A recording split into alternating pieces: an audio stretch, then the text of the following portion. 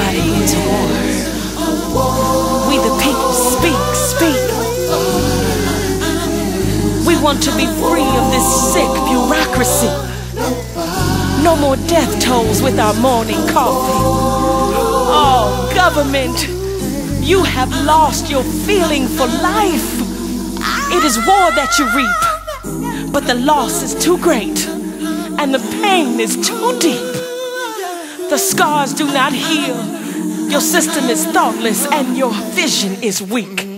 Your actions are hurtful. You never find what you seek. You make the sky a storm. You destroy the earth, make possibilities bleak.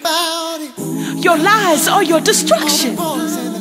Your justice stinks. Your pride is maniacal. You are the bearer of grief. Your win is shallow. Your truth is oblique. Your patriotism is garbage. It rots and it reeks. of death in the wind, the foul stench of men, basking in their cruelty, rejoicing in their sin. You give up and give over so easily to the darker side because of your pride. You risk all of humanity.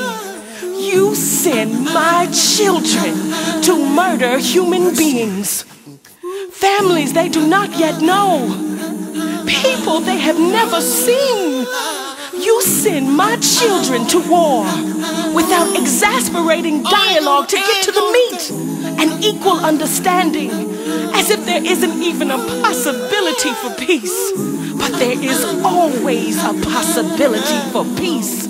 As unperfect as we are, we should in all ways reach deep, deep down in our beings. Oh, this wicked, wicked system of things, as our grandmothers say, will soon be no more.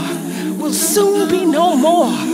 Because nobody, no one ever wins a war.